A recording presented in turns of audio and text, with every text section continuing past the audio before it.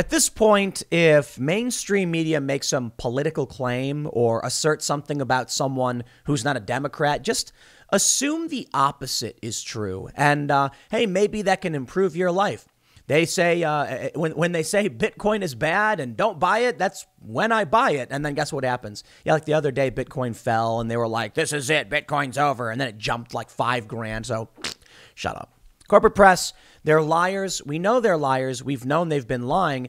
And I got to say it is it is like taking a power drill figuratively to my temple, having to talk about this all the time because we know, but there's more and more evidence. So the reason I think it's important to talk about this, I I, I mentioned a few months ago I was like, why bother even saying the media is lying when we know they're lying? And people just said, because we need to share the videos with our friends and family to prove it. I mean, at a certain point, the dam breaks. You can tell your friends and family the media is lying to you only so much until finally they say, either you are choosing to believe lies, you can say to them, or it's time to wake the F up. Let's go back in time. Lafayette's protests, Donald Trump, a photo op. They claimed Donald Trump tear gassed peaceful protesters because he wanted to stage a photo op in front of a church. It's a lie. It was a lie then, it's a lie now. We knew it was a lie then. Now, it is kind of paradoxical of me. I mean, I do use mainstream and, and corporate press sources, but I fact check them.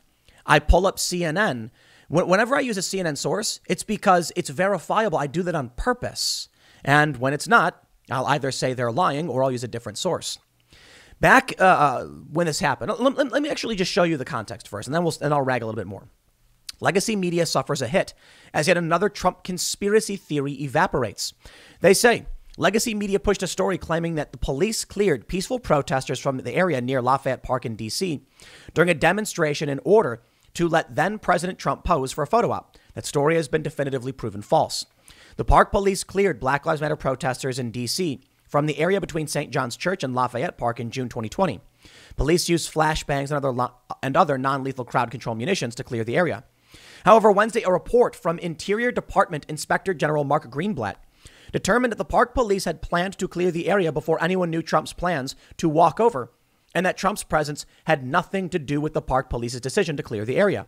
Police had planned to clear the area in advance in order to install extra fencing after the riots that took place May 30th and 31st, according to the report.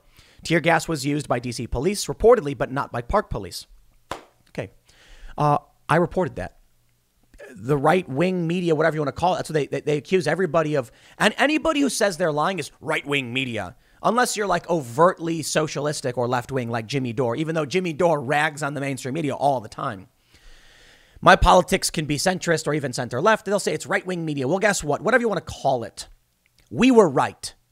It was it was it was plainly visible. They had said there were plans to clear the park. We all knew it. But not the people who watch CNN. The people who watch CNN believe lies. And do you think now that this is being proven false, they are going to change their minds? I'm sorry, they probably will not. What's likely going to happen is that they'll double down, they'll ignore the story because these people live in a psychotic, crackpot, delusional matrix. It really is the matrix, isn't it? You want to know what's funny? There's a story I covered the other day, and it was about vaccinations versus unvaccinated states. All the states that voted for Joe Biden have a very high rate of vaccination.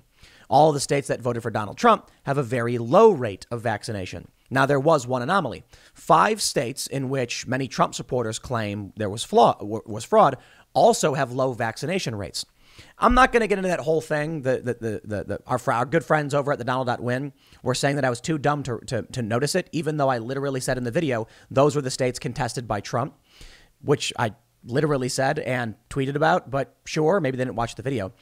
But what's funny is the people who vote for Joe Biden are blue and the people who vote for Trump are red and the people who believe the mainstream media are blue and the people who don't trust them are red. And it's just a coincidence that the blue pill in the matrix was the one to keep you in the matrix and the red pill was the one to break you out of it. So you get it right?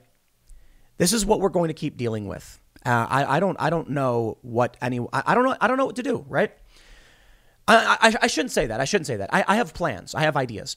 But every day when when I see more and more stories of this, I, I got more for you. Just wait. There's more fake news we're going to debunk. I see these stories and I'm just like, we know. How many people, how many of you are like, Tim, we knew this? I know. Well, here's what you can do. So there's a reason for me doing these videos. Share this with your friends and family. Just keep doing it and keep being like, hey, you were wrong. Hey, you were wrong. And let them just bask in their cognitive dissonance. Look, maybe they'll just keep saying, I don't believe it. I don't believe it. Okay, well, then you're a conspiracy theorist. Just say that. Look, the IG said this. Well, that IG was, he's trying to please Trump. So you think there was a conspiracy? You think that Trump colluded with the existing interior, uh, uh, uh what is it, the, what is it, what Department of Inspector General, Interior, uh, Interior Department of Inspector General was colluding with Trump or trying to please him? That's a conspiracy theory, you crackpots. Just show people, be like, dude, what do you expect? This guy worked for a bunch of different administrations. He did a review and said it wasn't true. The media pumped out fake news without fact checking. All right, I know what I can do. And uh, here's what you can do go over to timcast.com, become a member, join the members only section. Uh, you know, a lot of people may have noticed that they're not getting notifications for these videos anymore. So hit the like button, subscribe, the notification bell, but that's a reality. YouTube's under no obligation to, to promote my content, and they will likely stop doing it. It serves a purpose for them, I guess, but they're political ideologues, these companies, and they are going to hurt channels like this. I'll tell you what we're doing. We've got some uh, journalistic prospects coming out for work. Uh, we're gonna we, we have to do very rigorous Q, uh, uh, quality assurance vetting people who come to try and work. But timcast.com is launching a newsroom. It'll be very rudimentary to start in about a week or two. Hopefully, about a week or two. It'll be very rudimentary. It's going to be a lot of aggregation, but fact checking. So we'll take a look at a lot of these stories. We'll take a look at how they frame things. And then we are going to just aggregate and fact check a lot of these stories. Very rudimentary, not too dissimilar to what a lot of uh, you know organizations already do. However, the first people who start are going to actually do legitimate journalism. On top of that fact checking, they're going to be compiling more information, making those phone calls, adding more to the story, doing the real groundwork. And then we're quite literally going to have people doing groundwork. We're going to be covering stories of particular interest in cultural news, politics, and technology, sending out reporters, and we will have that newsroom at timcast.com. It's the only thing I can think to do. When I look at these stories where we know they're lying, that's what we're going to do. If you want to support that endeavor, it's greatly appreciated. Become a member. You get access to the exclusive Timcast IRL segments because that's what we're able to produce right now. It's basically full episodes of the podcast where we have guests and uh, we say things that YouTube doesn't allow us to say. We, we would get banned for it. Well, we're going to have a newsroom and we are going to, uh, I'm, I'm going to push this thing as far as possible. It's with your support we make that happen. Go back. Let, us go back to the Daily Caller now. Let's go back and look at what the, what's going on with this fake news. And I, I, I know I don't normally do the plugs for timcast.com on this channel, but I, I, I don't know. I, I'm trying to do something. I can't just sit here and be like, haha, look, they're lying, and just react to lies. We need to actually do something. That's it. That's what I'm doing. I am making, I am, I am pushing to build this website. I'm going to be hiring people. I am going to counter the lies, call them out, counter them. More than we're doing now, we will actually do hard reporting on a lot of these subjects and bring you fact based news. I'll tell you one thing that's really fascinating about the media. If I get, say, a former CIA agent, CIA intelligence analyst, or whatever, uh, with, with decent credentials, and they claim that Joe Biden did collude with Ukraine or something like that, I will be called fake news by these fact checkers. They'll say it's not true and this is a lie, even if I have a source within the CIA saying it. If I have a source within the CIA, same guy, but he comes out and says Donald Trump colluded with Russia, the fact checkers would say true and correct. That's it. That's the, that's the bias of the establishment, and there's no way around it. There, are, I was reading one website that was accused of being a crackpot conspiracy website. And they did push conspiracy theories. They, you know, talk about 9 11 and a bunch of other stuff. But they actually had legitimate sources from people who worked in the military and worked at the CIA and worked at the FBI. And I did think a lot of the stories were, were wingnut level stuff, hard to verify outside of some, you know, former employees' statements. Here's the issue. I take a look at a story where I see it's like former FBI agent says aliens are real or something, right? And I'm like, yeah, sorry, I don't buy it. I take a look, take a look at the New York Times, and they say sources familiar with Trump's thinking say that you know he wants to steal candy from babies, and I'm like, sources familiar with his thinking? What is what are you on? That's not evidence of anything. That's not even an FBI agent. Who are you talking about? What does NewsGuard say? Fact. True and correct. What does Snopes say? Verified. True. New York Times can come out and say some random bloke you never heard of, and we're not going to tell you where he even worked, says this. Great. You want me to go in an alley and ask a bum what he thinks about aliens and then publish it and claim a source close to Kamala Harris's office? Yeah, close as in proximity to the dumpster behind it. That's what they do. And there's no escaping it. So if I get legitimate sources, how about this? Jack Posobiec. He had a source tell him that the White House wanted to fire Anthony Fauci. Oh, the media will claim he's lying. Posobiec literally has sources in the White House. James O'Keefe, they'll say he publishes fake news. He literally published a video of the person saying the words. You see how the game is played? I can't expect that we'll get a fair shake when we're covering the news, when we launch our newsroom, because the mainstream press and their allies, big tech, are suppressing the truth. Welcome to La Resistance, my friends.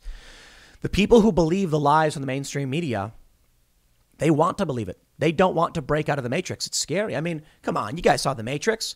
That guy Cypher, he's sitting there and he's eating that steak in the Matrix, and he's like, I know it's not real, but mm, it tastes good. Yeah, some people want to be in the Matrix. They don't want to be broken out from it. The real world is scary. It's, it's better to be in the warm bosom of the establishment elites who will take care of everything for you. You don't need freedom. Freedom is, is disaster. Come on, you guys remember what Loki said in in the Avengers? I'm bringing him up now because the show has actually just started. And he said, uh, "Freedom leads to ruin." You know, when people make choices, they regret them.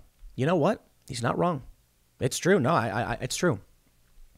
There was a study they did, the where they told people to come in and do this survey. The people thought the survey was the study.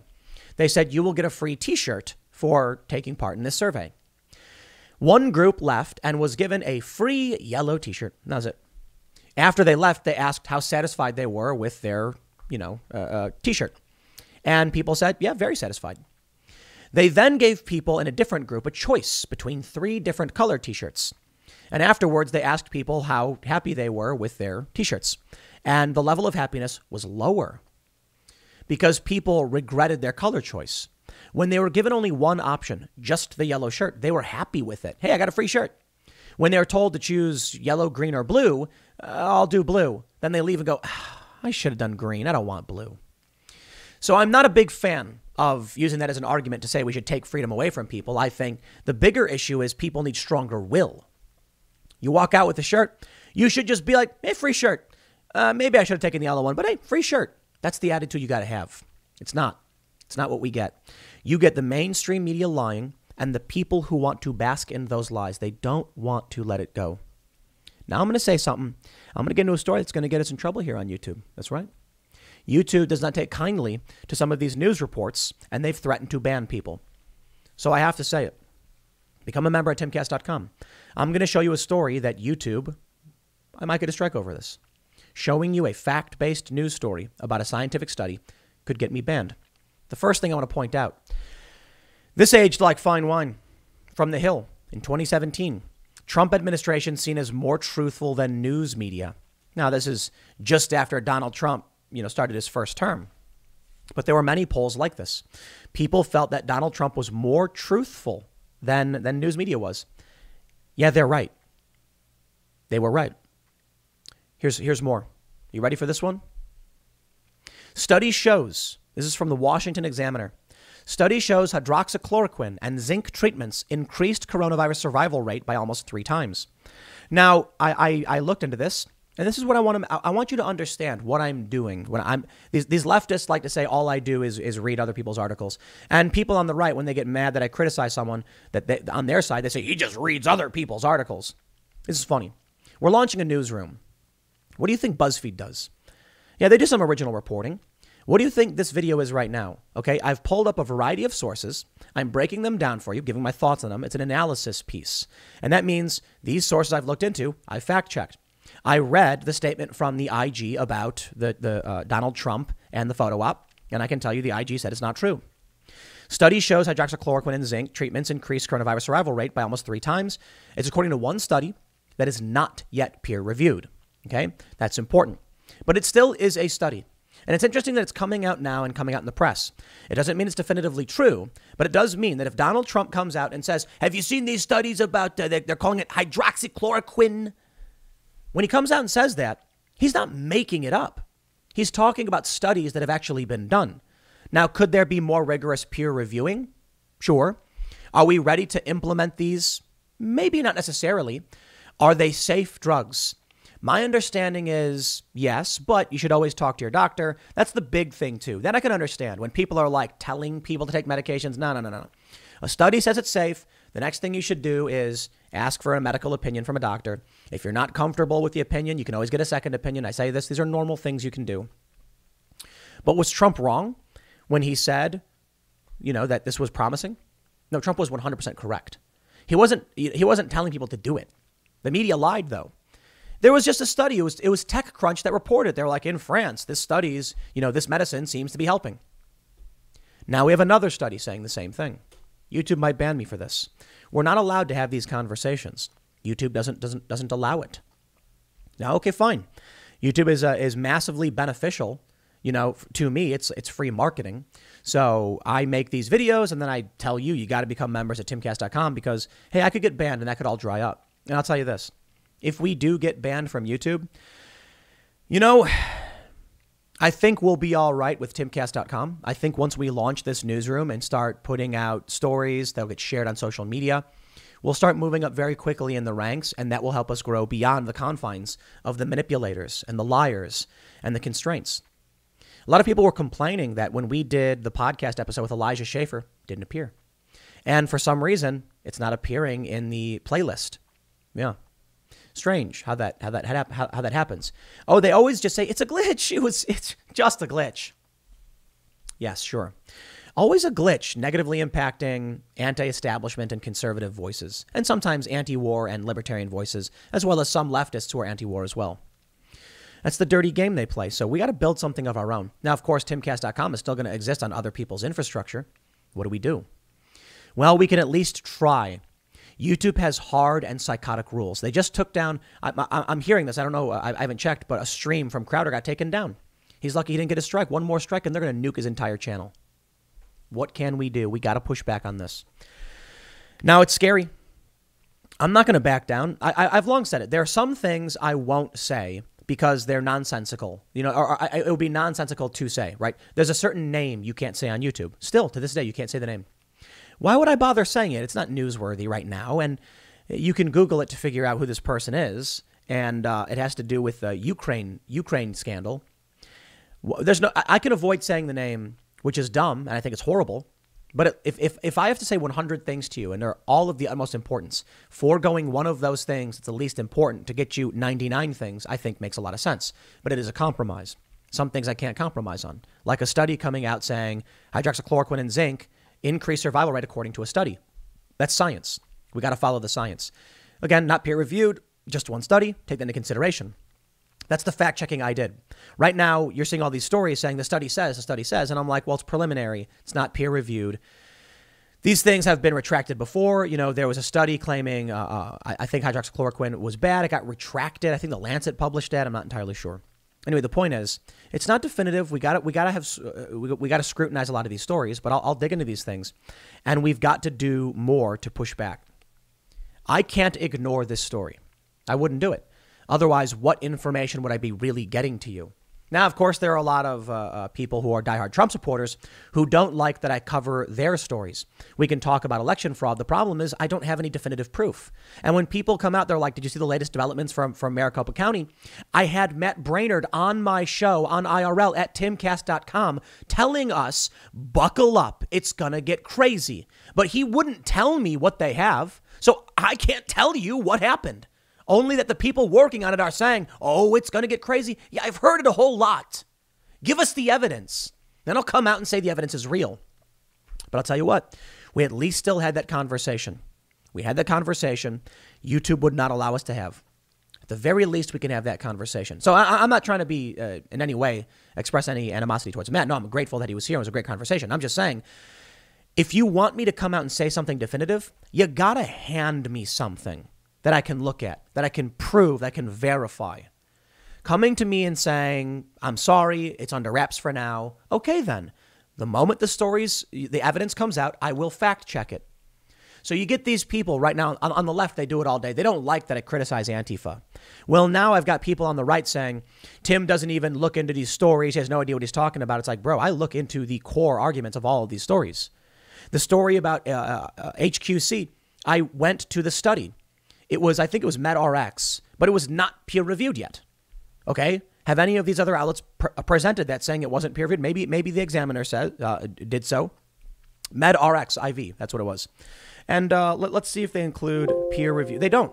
Okay. Uh, it doesn't look like they've included peer reviewed in in their story.